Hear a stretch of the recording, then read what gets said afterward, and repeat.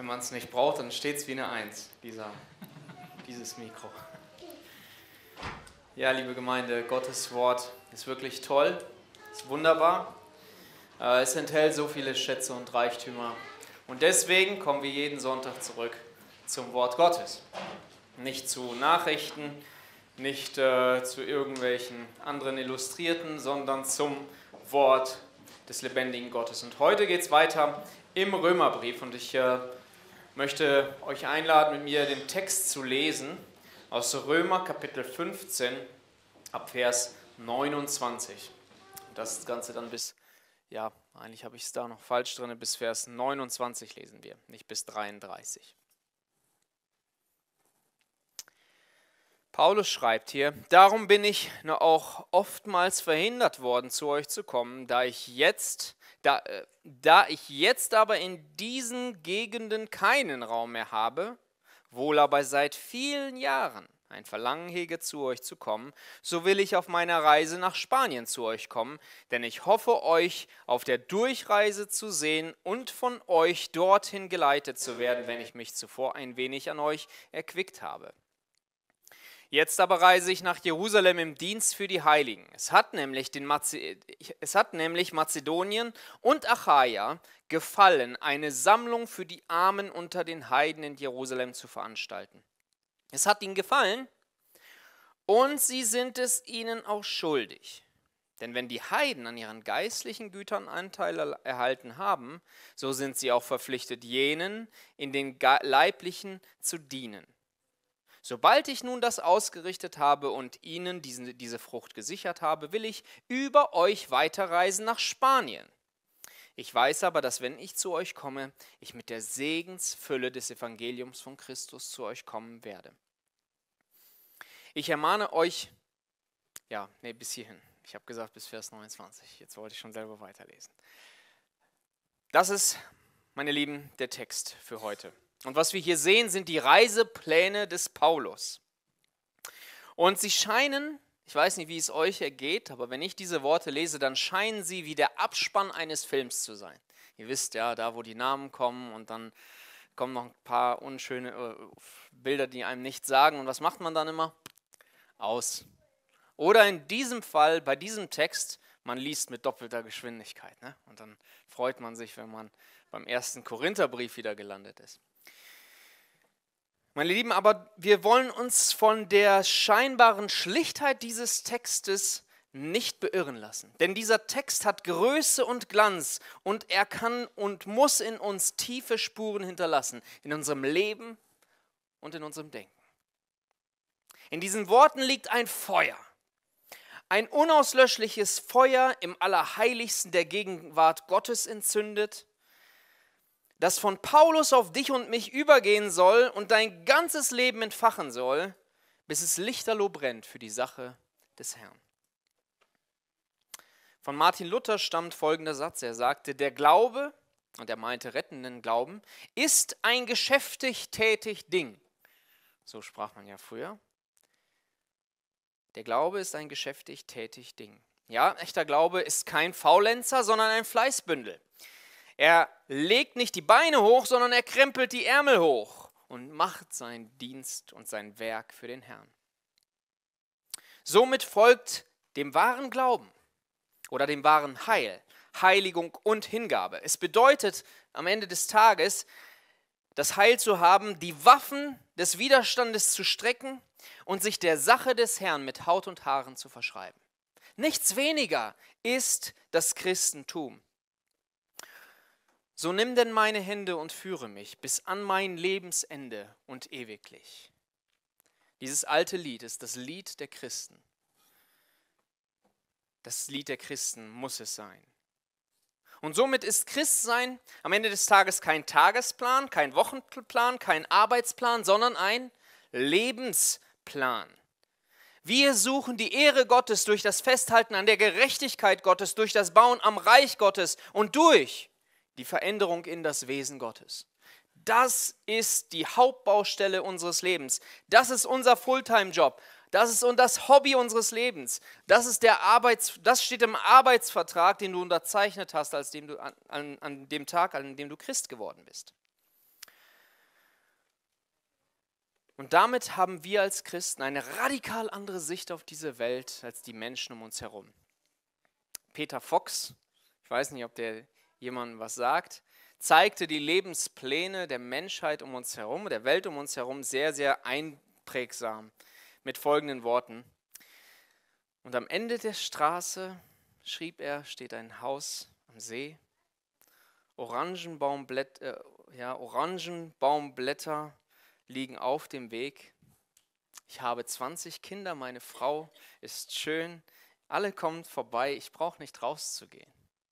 Ja, ihr kennt das, oder? Oder ich glaube jedenfalls, dass einige das kennen. Aber das beschreibt die Lebenspläne dieser Welt. Doch die Lebenspläne eines Christen haben einen ganz anderen Schwerpunkt. Sie gehen über die Grenzen dieses, dieser sichtbaren Welt hinaus und zielen in die Unendlichkeit der Ewigkeit. Ja, Christen erwarten die Ewigkeit, die herrliche Gemeinschaft. Dort im Himmel mit, der, mit dem dreieinigen Gott. Und sie warten auf dieses neue Jerusalem, die neue Stadt, in der Gerechtigkeit wohnt. Dahin blicken sie.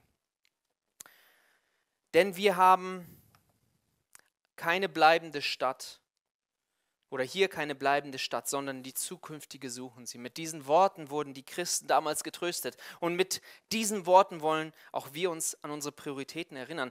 Dieses, das, diese Worte, das soll, muss das Fenster sein, in das wir in diese Welt hineinschauen und, unsere, und, und alles um uns herum bewerten. Und so, meine Lieben, lebten die Christen schon immer. Sie bestimmten durch das Unvergängliche alles andere, alles Vergängliche. Und so lebten die Glaubensväter, die Giganten des Glaubens. Und einer von diesen Giganten ist Paulus.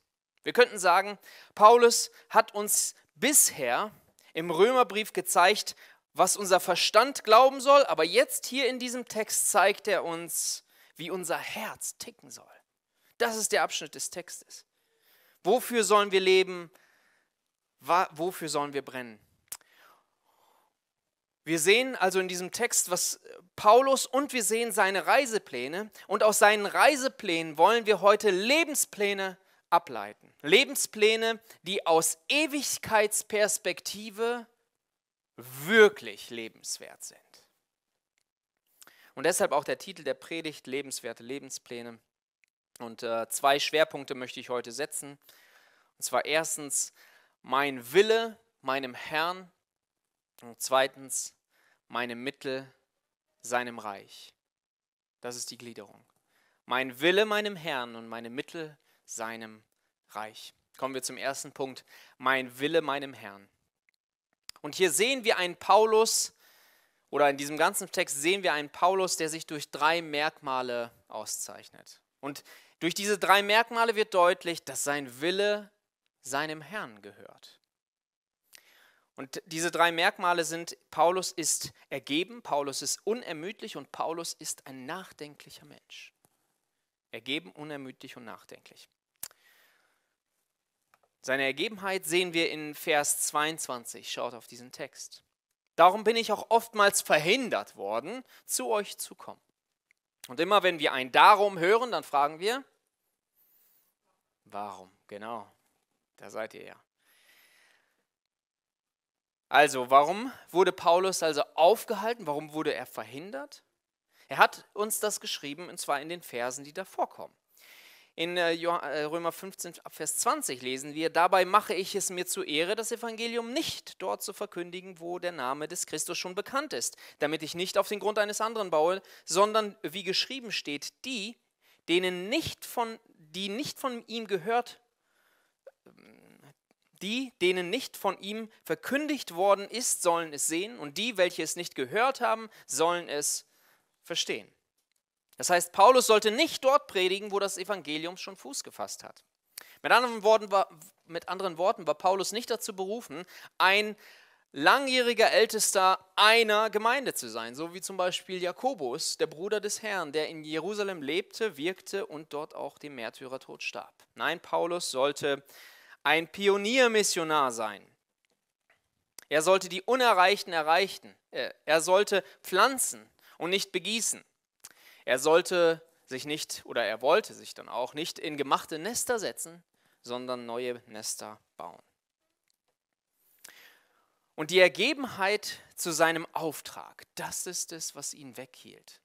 Das ist es, was ihn aufhielt, sogar einen langjährigen Wunsch umzusetzen. Paulus hatte, war auch nur ein Mensch, der hatte langjährige Wünsche und Träume. Und hier ist sein langjähriger Wunsch. Viele Jahre hatte er ein Verlangen, nach Rom zu kommen. Das war ein langjähriger Wunsch. Nun, er wollte nicht nach Rom, weil er den, den, das Kolosseum oder den Petersplatz sehen wollte. Nein, da gab es eine andere Attraktion für ihn, und zwar die Gemeinde. Da wollte er hin. Aber dem Willen Gottes ergeben wollte er nicht seine Wünsche ausleben. Er war dem Herrn ergeben und so hatte Selbstverwirklichung in seinem Leben keinen Platz.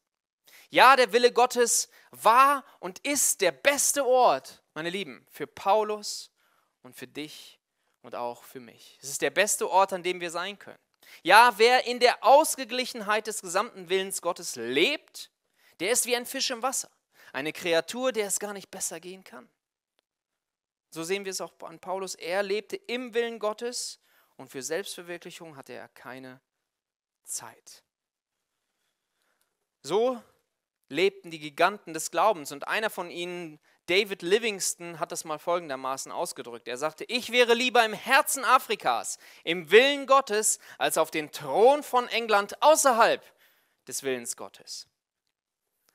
Mein Lieben, nichts schafft mehr Freude, mehr Gelassenheit, mehr Gewissheit und mehr Kraft als im Gleichgewicht mit dem Willen Gottes zu leben oder im Gleichschritt mit dem Willen Gottes zu gehen. Aber der Wille Gottes, meine Lieben, ist nicht nur der beste Ort, an dem wir sein können, der gesündeste Ort, an dem du sein kannst. Es ist auch der sicherste Ort im Universum. Sicherer als das Weiße Haus oder sicherer als ein Atomschutzbunker. Und ich möchte nicht in deinen Schuhen stecken, wenn du diesen Pfad des Willen Gottes verlässt oder ihn nicht erst betrittst. Ja, es birgt Gefahren, selbst für Christen. Paulus schreibt, und schaut mal, die Ernsthaftigkeit seiner Worte. Er schreibt über sich selber, wehe mir, wenn ich das Evangelium nicht verkündigen würde. Mit anderen Worten, wehe mir, würde ich nicht im Willen Gottes stehen. Meine Lieben, lasst uns einmal kurz zurückschauen ins Alte Testament und an Jona denken. Was, wollt, was hatte Jona? Er hatte einen Auftrag, aber er hatte andere Pläne. Und so lief er in die andere Richtung. Übrigens wollte er auch nach Spanien. Ähm, also im Prinzip lebt er ein bisschen an, auf anderem Fuß, aber er merkt schnell, wow, das war nicht meine beste Idee, nicht wahr? Weil Gott schickt eine Katastrophe nach der anderen. Erst der Sturm und dann eine Bauchreise im Fisch. Des, äh, im Fisch. Ähm, ja, da merkte, das war nicht meine beste Idee. Und das passiert nicht nur den Menschen in der Bibel, auch ein John MacArthur berichtet davon, er äh, als junger Mann wollte er Footballspieler werden, obwohl er auch schon äh, den Ruf als, zum, äh, zum, als Pastor verspürt hatte. Aber Gott führte es dann so, dass er einen schrecklichen Autounfall hatte. Und, auf dem, und er wurde aus dem Auto geschleudert und dann hat die, der Asphalt seinen Rücken abgeschliffen. Und er verbrachte drei Monate auf der Intensivstation und am Ende des Tages sagte er sich, okay, wenn Gott so mit mir redet, dann sollte ich ihm nicht länger widersprechen. Mein Lieben, es ist wirklich, kann wirklich gefährlich sein, die sich dem Willen Gottes zu widersetzen. Aber selbst dann, wenn Gott bei dir nicht so harte Wege einschlägt, ist es trotzdem ein bedauernswerter Schicksal, wenn du nicht im Willen Gottes lebst. Denn entweder wird dein Vater seine strafende Hand erheben oder er wird seine segnende Hand wegziehen. Und dann wird dein Leben freudlos und schwer. Freudlos, weil so manch einer keine Heilsgewissheit hat, keine Heilsgewissheit hat, obwohl er Gott bekennt, aber vor seinem Willen davon rennt. Sie führen ein Leben in Eigenregie und betrüben so den Geist Gottes. Und dann hört er auf zu bezeugen, dass du ein Kind Gottes bist. Und dann hat Satan leichtes Spiel. Und noch mehr Christen leben ein treuloses äh, oder ein trostloses Dasein, weil sie Gottes Wirken und Gottes Gegenwart einfach nicht erleben.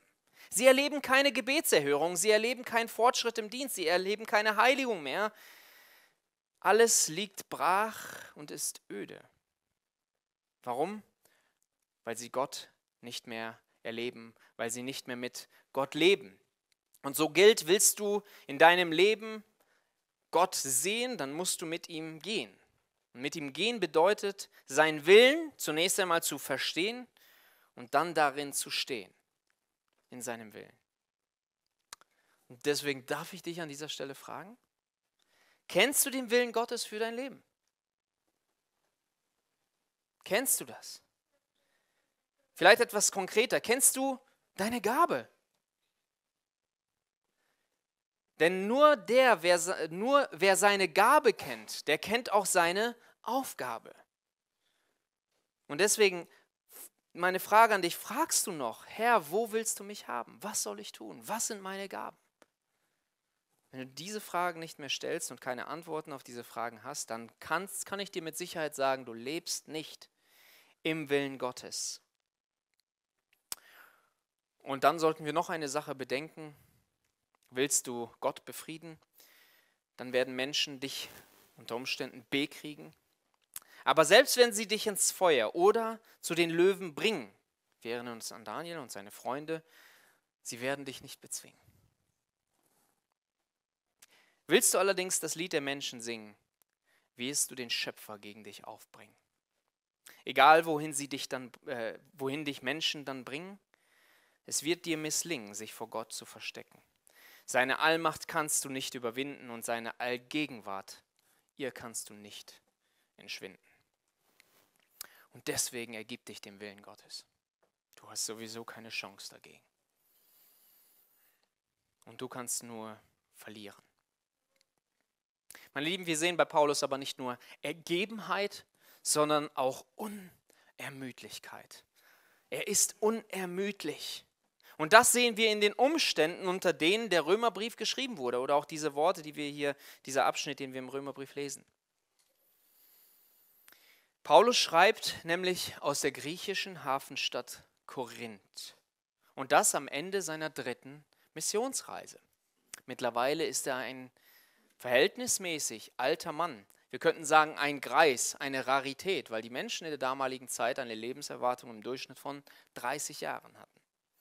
Er ist in etwa 52 Jahre alt. Und sein alter Körper hat viele tausend Kilometer auf dem Kilometerstand.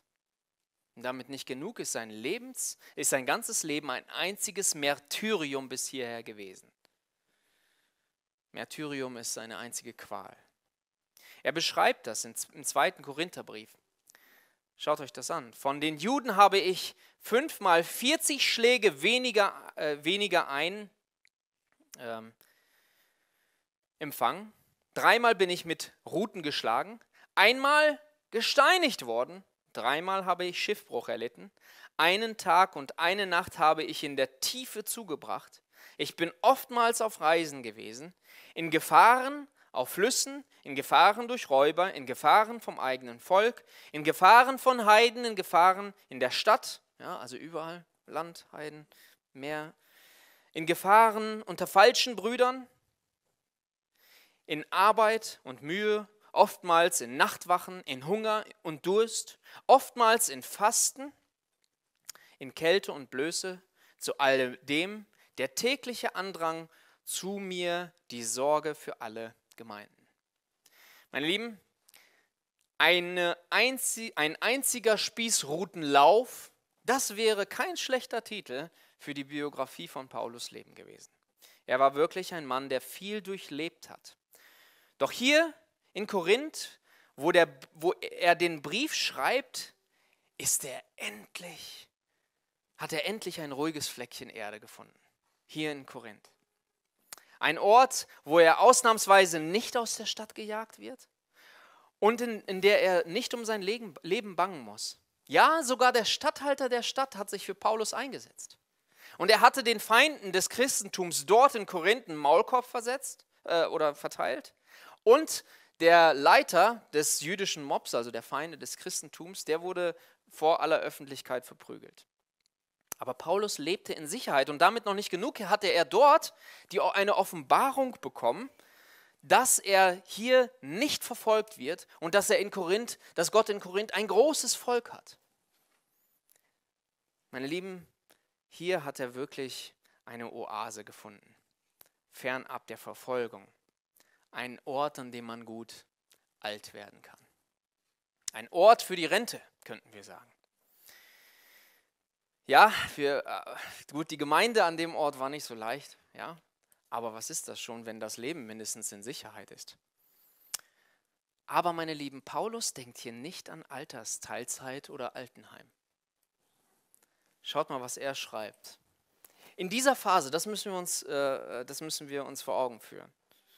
Alter Mann und ist an dem Ort, wo es, wo es ihm gerade richtig gut geht. Und er schreibt, da ich jetzt aber in der Gegend keinen Raum mehr habe, wohl aber seit vielen Jahren ein Verlangen hege, zu euch zu kommen, so will ich auf meiner Reise nach Spanien zu euch kommen. Er sagt, ich habe hier in Griechenland keinen Raum mehr, weil ich die wichtigen Knotenpunkte, die wichtigen Orte erreicht habe und das Evangelium ist überall hingekommen und deswegen muss ich woanders hin. Und deswegen plant dieser alte Mann nicht seine Rente, sondern nochmal eine Weltreise, weit weg ans westliche Ende des, der damaligen Welt nach Spanien. Siehst du seine Unermüdlichkeit?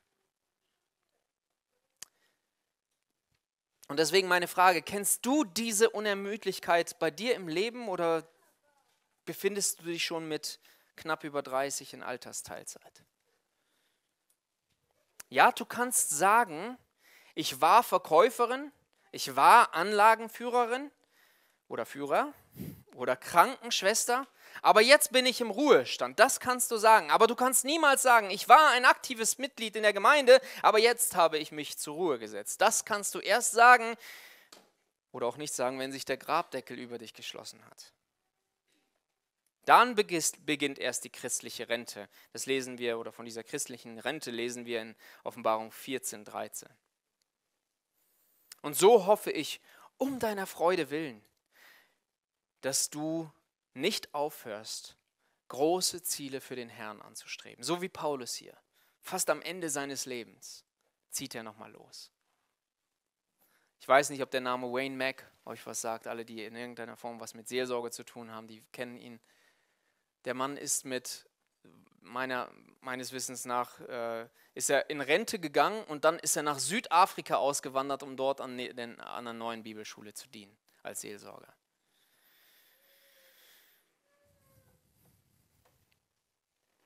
Vielleicht sagst du, ich bin, ich bin zu alt, um was Neues zu starten, auch vielleicht was Neues zu lernen und vielleicht lassen es meine familiären Umstände nicht zu. Dass, ich möchte das nicht kleinreden, dass das durchaus zu Problemen führen kann.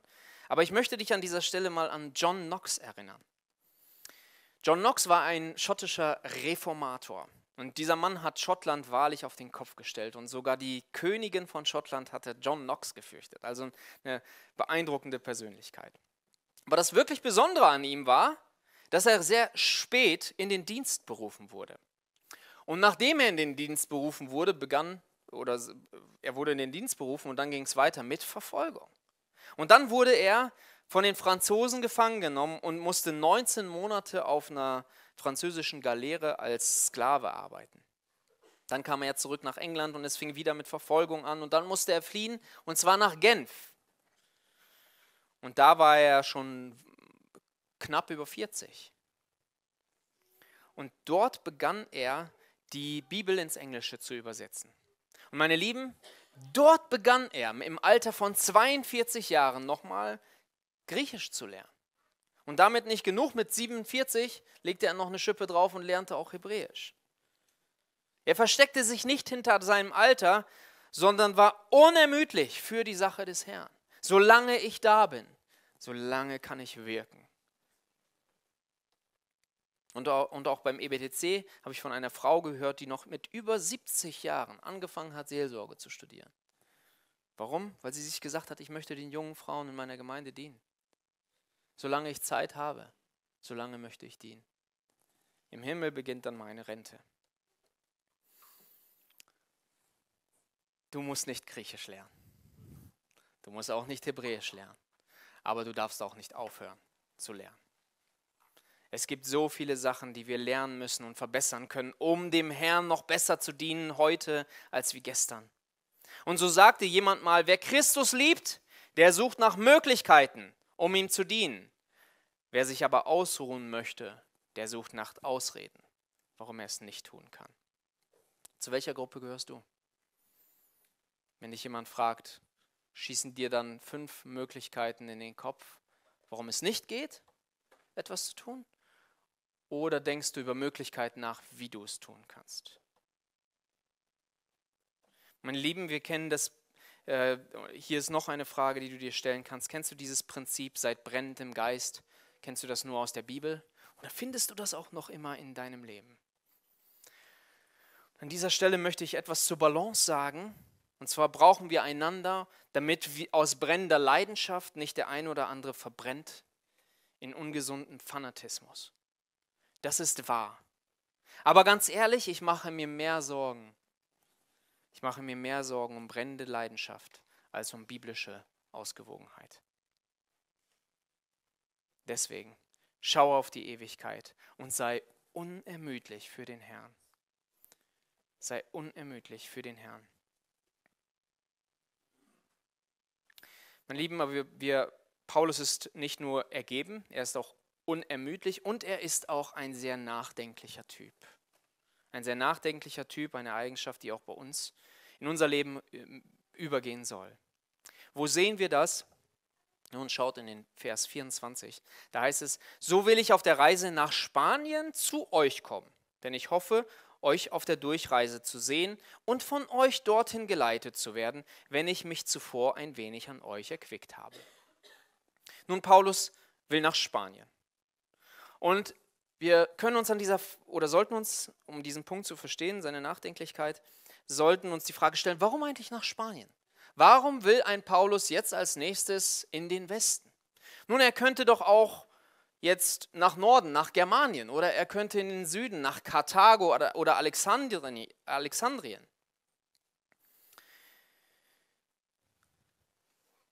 Nun, hier sind zwei, können wir zwei sinnvolle Annahmen treffen, ähm, wenn wir nämlich Paulus Leben betrachten, daraus können wir es ableiten. Wenn wir nämlich die bisherigen Reisen von Paulus untersuchen, stellen wir fest, dass er nicht jedes Dorf abklappert, sondern er sucht sich die großen Handelsstädte aus.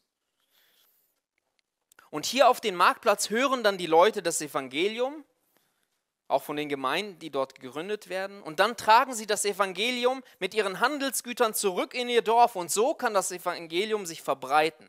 Und so hat auch das Evangelium in der Vergangenheit viel Boden gut gemacht, indem die Menschen so vorgegangen sind. Aber Paulus ist nicht nur auf Großstädte fokussiert, Paulus ist vor allem auch auf die Türkei und insbesondere nach, auf Griechenland fokussiert. Vor allem in seiner dritten Missionsreise hat er, hat er Griechenland zum Ziel. Und auch das, meine Lieben, ist gut überlegt. Ja, Paulus ist ein nachdenklicher Mensch. Warum ist das so? Nun, wir müssen wissen, dass zur damaligen Zeit Rom das Zentrum der militärischen und wirtschaftlichen Macht war. Aber das Zentrum der intellektuellen Macht, das war Griechenland. Hier war die Gedankenschmiede der Antike. Hier wurden neue Ideen und Weltanschauungen kreiert und dann in die ganze Welt exportiert. Ja, sogar die Römer schickten ihre Kinder nach Griechenland an diese Schulen. Und damit war Griechenland das, was die USA heute ist. Die Geburtswiege neuer Ideen. Hier wurden diese Ideen gedacht und dann in die Welt gebracht. Und deswegen passt auch Spanien, meine Lieben, so gut ins Bild. Denn Spanien ist zur Zeit des Paulus das die neue aufkommende Gedankenschmiede. Ich weiß nicht, ob euch der Name Seneca was sagt. Alle, die mit Latein zu tun haben, die kennen ihn wahrscheinlich. Seneca, ein großer Staatsmann, er war der Erzieher und Berater von Kaiser Nero. Und das ist nur einer der berühmten Namen, die aus dieser Zeit aus Spanien kamen. Und Paulus weiß, wenn wir diese, Gedan diese Gedankenfabriken, das heißt Griechenland und dann Spanien, besetzen oder infizieren können, dann werden wir schon bald auf das ganze römische Reich Einfluss generieren.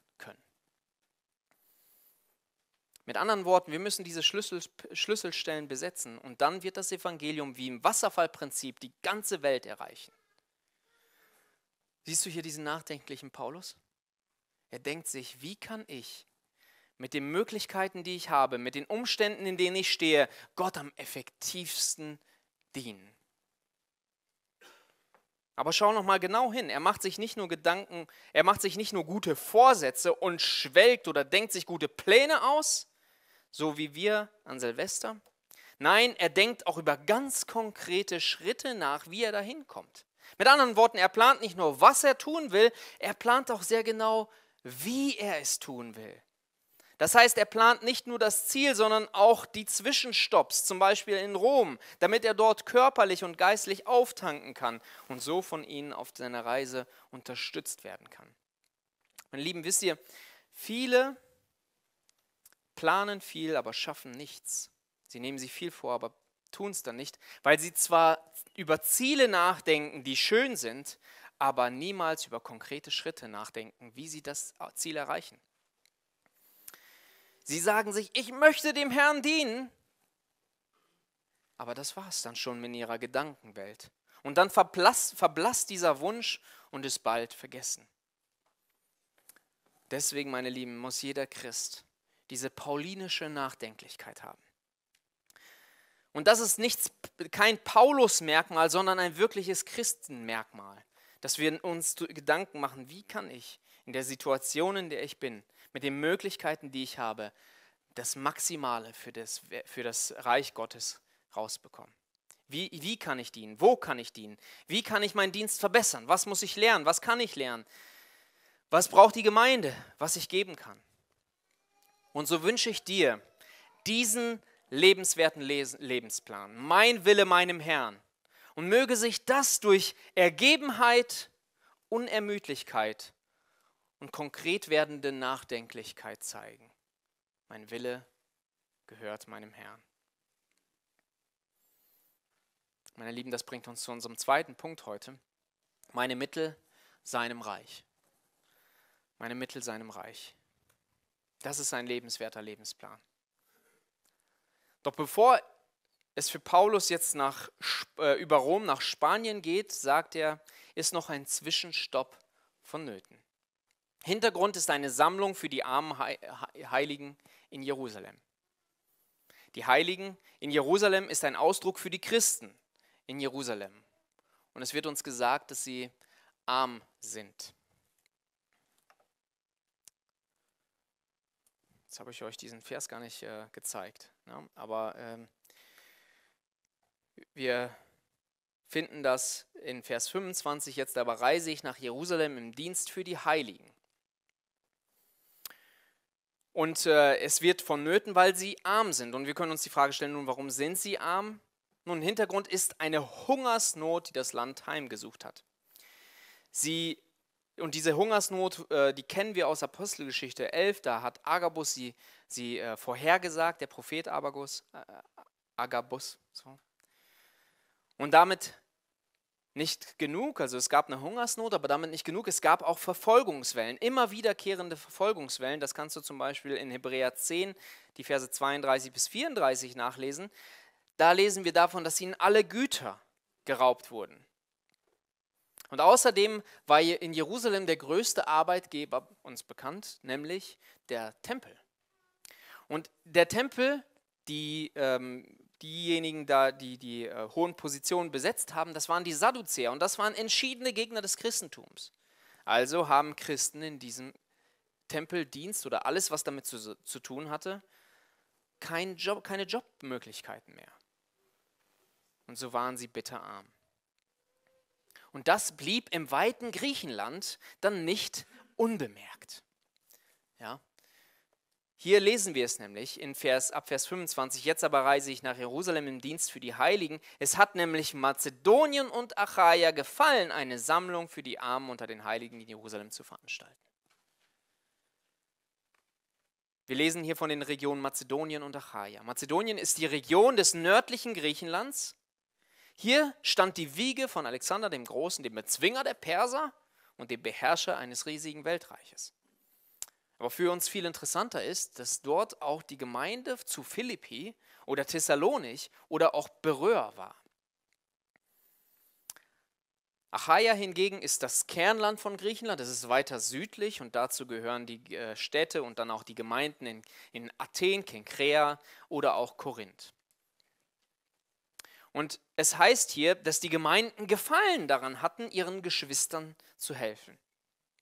Und Gefallen kann auch mit tiefer Zufriedenheit oder Bereitwilligkeit oder auch Begehren übersetzt werden. Sie hatten das tiefe Verlangen zu helfen.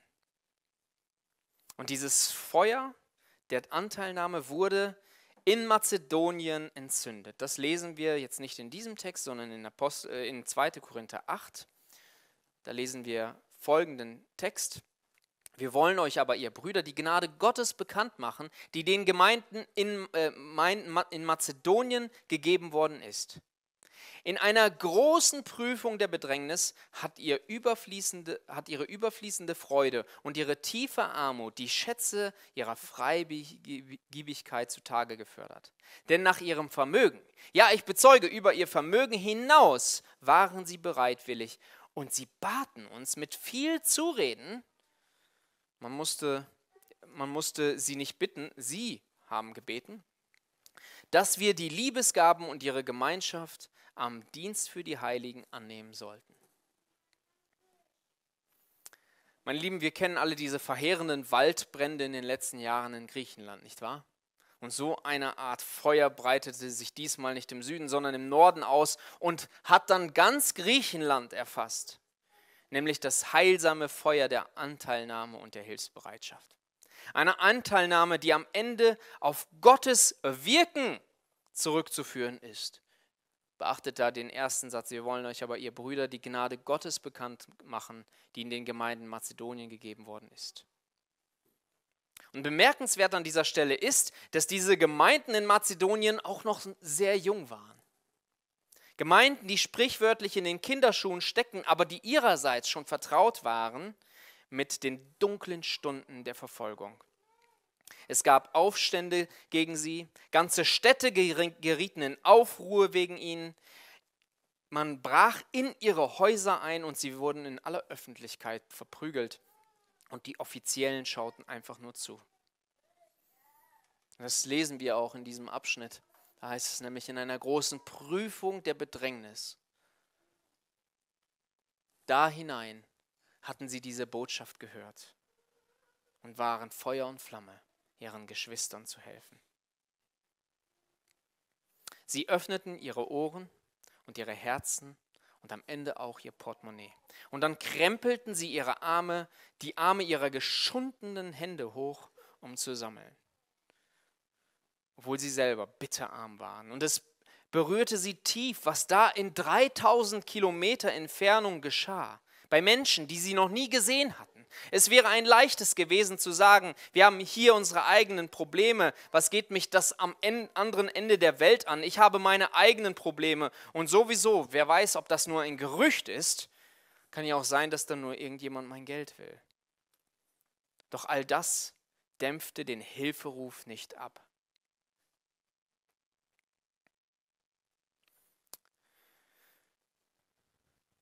Darf ich dich fragen, berührt es dich, wenn du Menschen leiden siehst, wenn du hörst, wie andere leiden, ganz besonders Christen leiden. Was empfindest du, wenn du hörst, dass Geschwister in der Ukraine oder in Israel, vielleicht sogar auch jetzt im Gazastreifen leiden? Was empfindest du da? Hast du dich vielleicht angehört, angewöhnt, unbewusst wegzuhören?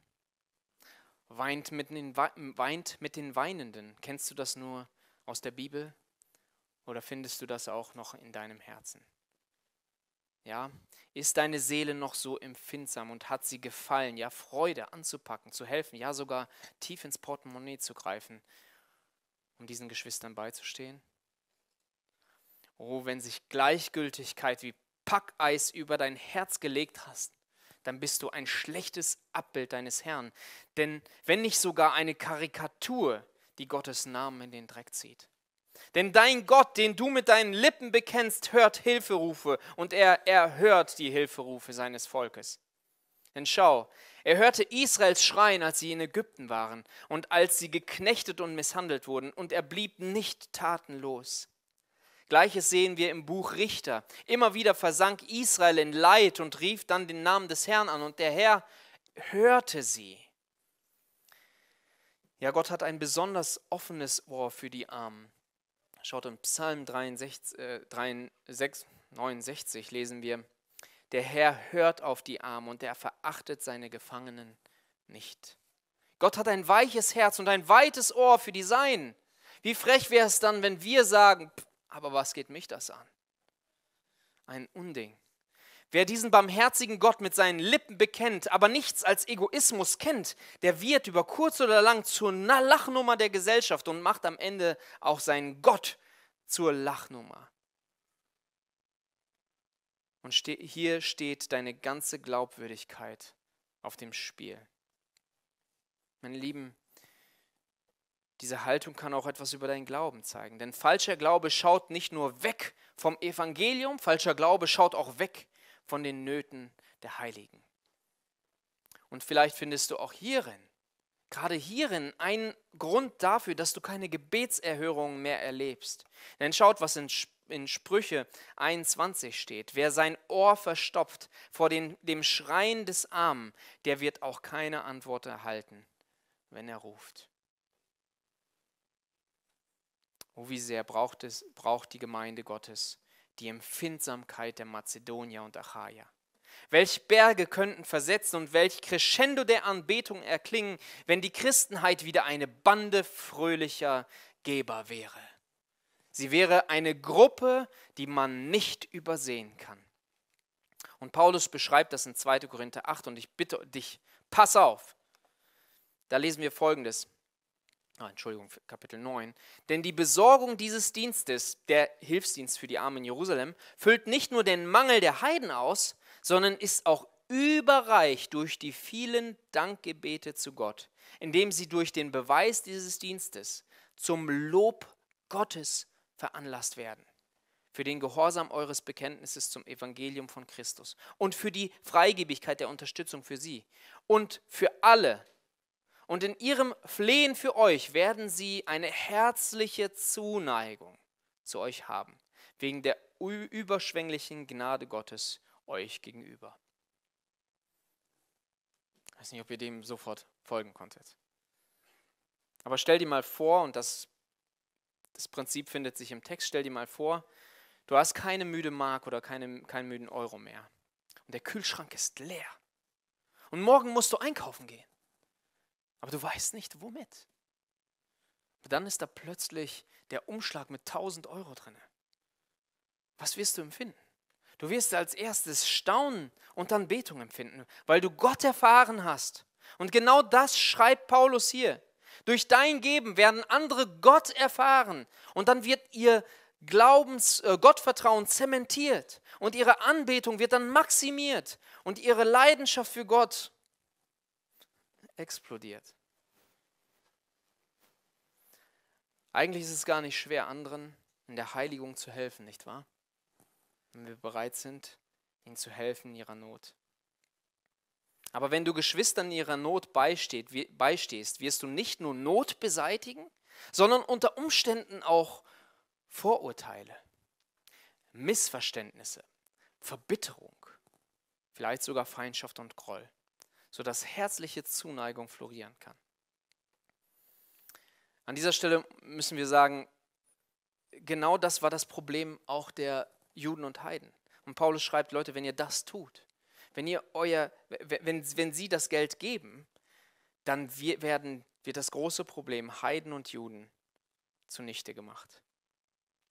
Und damit kann dieser, ist dieser Hilfsstoff nicht nur, oder dieser Hilfsdienst nicht nur Wirkstoff gegen die Not, er ist auch Treibstoff für die Anbetung, er ist der Klebstoff für die Einheit und am Ende wird er zum Baustoff für das Reich Gottes.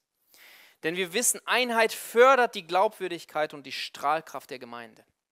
Und das war schon immer eines der größten Werkzeuge in der Hand Gottes. Wenn Menschen in Einheit und echter Liebe zueinander leben, dann bleibt das vor der Welt nicht ungesehen.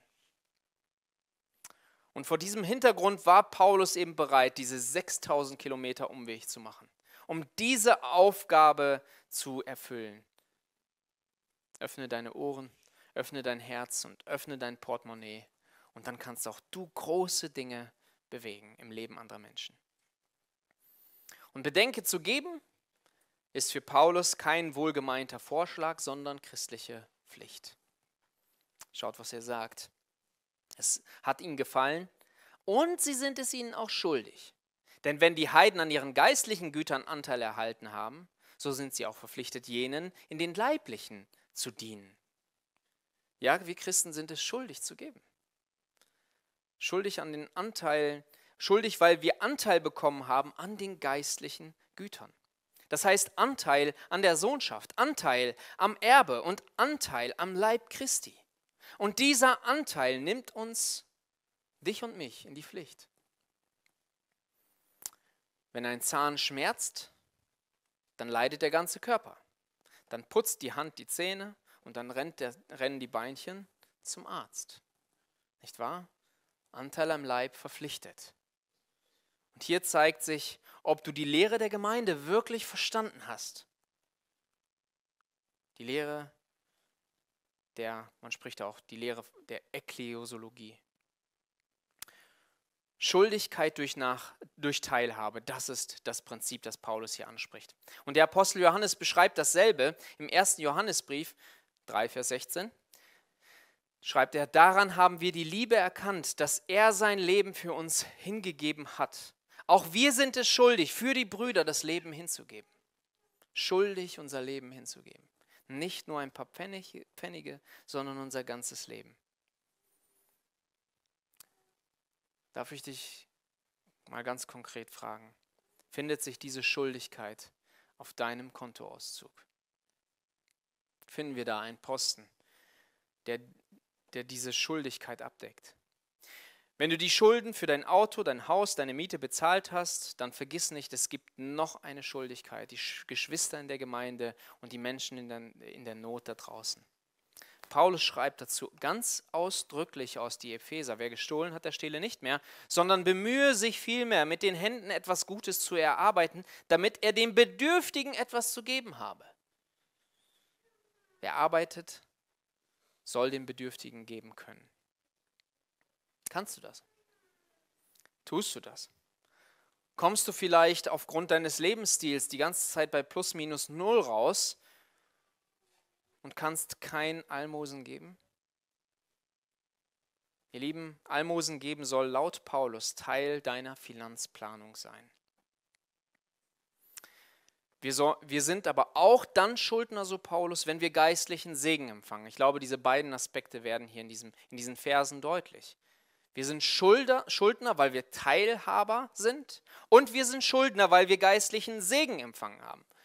Schaut, wie er sich hier ausdrückt in Vers 27. Wenn die Heiden an ihren geistlichen Gütern Anteil erhalten haben, so sind sie auch verpflichtet, jenen in den Leiblichen zu dienen. Und das möchte uns Paulus hier vermitteln. Wenn du geistlichen Segen erfährst, sollst du das mit irdischem Segen vergelten. Möchte ich nur ganz kurz an Galater 6,6 erinnern. Wer im Wort unterrichtet wird, gebe dem, der ihn unterrichtet, Anteil an allen Gütern. Das ist auch eine Schuldigkeit, die man nicht einfordern muss und die wir auch nicht einfordern, aber es beschreibt die Bibel trotzdem als Schuldigkeit. Und das alles schreibt Paulus nicht ohne Grund, meine Lieben. Denn er hofft, dass sie dieses Prinzip verstanden haben, wenn er zu ihnen kommt. Denn er schreibt ihnen dem nächsten Vers, ich weiß aber, dass wenn ich zu euch komme, ich mit der Segensfülle des Evangeliums komme. Er wird ihnen die Segensfülle des Evangeliums bringen und sie sollen ihn dann unterstützen, wenn er auf dem Weg nach Spanien ist. Dieser, deswegen schreibt Paulus hier auch von dieser Schuldigkeit. Aber meine Lieben, und das möchte ich hier betonen, natürlich, wir sind auch Schuldner und so weiter und das müssen, dürfen wir nicht unter den Tisch fallen lassen. Aber ich möchte hier noch eine Sache betonen, die wir hier in diesem Text finden. Und zwar ein Paradebeispiel christlicher Leiterschaft.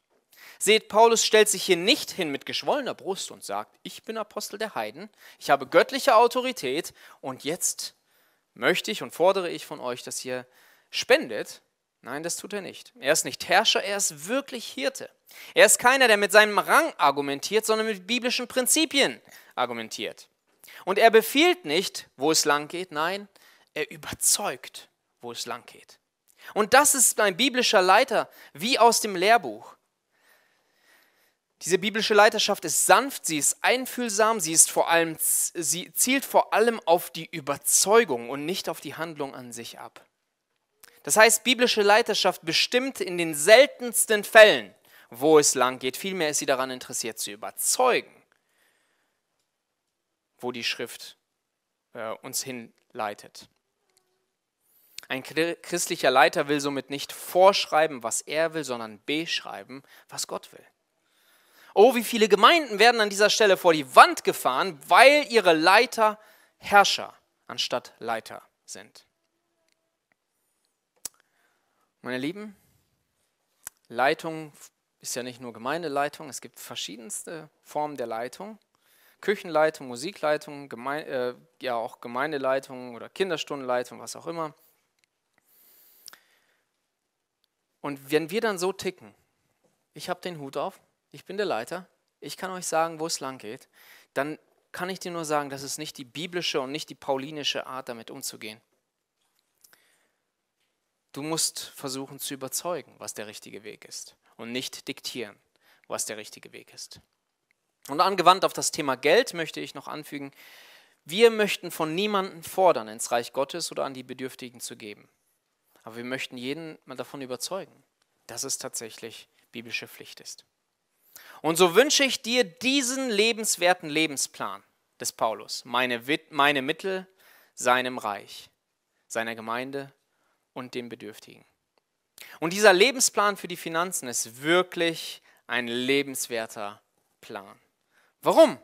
Weil alle anderen Investments, die du tätigst, jeden Pfennig, den du heute und morgen ausgeben wirst, den wirst du verlieren. Garantiert, spätestens wenn diese Welt nicht mehr existiert. Das aber, was du ins Reich Gottes investierst, das wird nicht verloren gehen. Wisst ihr, wer heute sein Geld in Aktien oder in andere Welt Wertanlagen investiert, der muss sich immer zwischen zwei, Sicherheit, äh, zwischen zwei Dingen entscheiden, nämlich Sicherheit oder Gewinn. Das heißt, entweder man geht volles Risiko und, und hat die Chance, viel zu verdienen, oder aber man setzt auf Sicherheit und minimiert damit die Chance, alles zu verlieren. Wer aber in die ewigen Dinge investiert, der hat nicht diese Wahl, sondern hat, in, hat immer maximalen Gewinn und auch maximale Sicherheit. Denn im Himmel gibt es keine Inflation und auch keinen Diebstahl. Und so müssen wir uns immer wieder sagen, jeder Cent, den ich ins Reich Gottes gebe, ist kein Weggeben, sondern ein Anlegen, ein Anlegen in die Goldaktie des Himmels. Lieben, dieses Verständnis müssen wir haben, wenn es um unser Geld geht. Es ist ein Anlegen. Jeden, jeden, jeden Pfennig, den du heute ausgeben wirst oder den du morgen ausgeben wirst, denk daran. Und wir müssen diesen Geld, das auch ausgeben. Das will ich nicht kleinreden. Wir müssen Geld, äh, wir müssen, wir müssen äh, Klamotten kaufen und auch Lebensmittel kaufen. Aber fürs Reich Gottes eingesetzt ist das immer die beste Investition. Und so wollen wir mit der Erwartung leben, dass, diese, dass wir diese staubigen Straßen dieses Lebens bald verlassen werden. Und dann werden wir die goldenen Gassen des neuen Jerusalems betreten. Und dort werden wir den König sehen. Und im Glanze seiner Herrlichkeit wird alles andere wie ein unbedeutender Traum sein, der bald verblasst. Und so wollen wir diese Welt nicht zu unserem kleinen Schloss machen, als wenn das Leben ist alles, was zählt. Nein, unsere Lebensreise ist keine, sondern wir wollen mit dem Bewusstsein leben, dass unsere, unsere Lebensreise keine Erholungsreise, keine Lustreise, sondern eine Dienstreise für die, für die Sache des Königs ist und für nichts anderes. Hast du diese Ewigkeitsperspektive? Oder hast du dich einlullen lassen von den vergänglichen Ideen dieser Welt? Das ist heute die Frage. Und das kannst du prüfen an diesen beiden Fragen. Wem gehört mein Wille und wem gehört mein Geld? Und wenn du erkennst, in meinem Leben geht an dieser Stelle tatsächlich was schief, dann möchte ich dich nur ganz kurz noch zum Abschluss an zwei Sachen erinnern. Das erste ist, ich möchte dich an Gottes Liebe erinnern. Du kannst nicht so viel gesündigt haben, dass Gottes Gnade versiegt ist. In Römer 5, 20 lesen wir die Worte, wo aber das Maß der Sünde voll geworden ist, da ist die Gnade überströmend geworden. Und Richard Sibbes sagt dazu, es ist immer, immer mehr Gnade in Christus als Sünde in uns. Mit anderen Worten, Gott kann und möchte dir vergeben. Aber ich möchte dich nicht nur an Gottes Liebe und Vergebungsbereitschaft erinnern, sondern auch an Gottes Macht. Er wird dich von aller oder er wird und kann dich von aller Müdigkeit und Kraftlosigkeit und Lustlosigkeit und aller Angst befreien, sodass du mit Freude und mit Leidenschaft ihm dienst. Das kann er geben. Er kann das Feuer wieder anzünden, sodass wir sagen können, meine, mein Wille meinem Herrn und meine Finanzen oder mein, meine Mittel seinem Reich. Und deswegen würde ich dir gerne diesen Vers zum Abschluss mitgeben. Das ist ein Vers, den ich eine Zeit lang den, den ich zum Geburtstag gratuliert habe, mitgeschickt habe. Vielleicht erinnert sich der ein oder andere. Der Gott des Friedens aber, der unseren Herrn Jesus Christus aus den Toten heraufgeführt hat, den großen Hirten der Schafe, durch das Blut eines ewigen Bundes, er rüste euch völlig aus zu jedem guten Werk damit ihr seinen Willen tut. Jetzt kommt's. Indem er in euch das wirkt, was vor ihm wohlgefällig ist durch Jesus Christus. Ihm sei die Ehre von Ewigkeit zu Ewigkeit. Amen. Damit sage auch ich Amen. Und ähm, ja, wir können Gott danken und ihm bitten, dass er das in uns tut. Lass uns dazu aufstehen.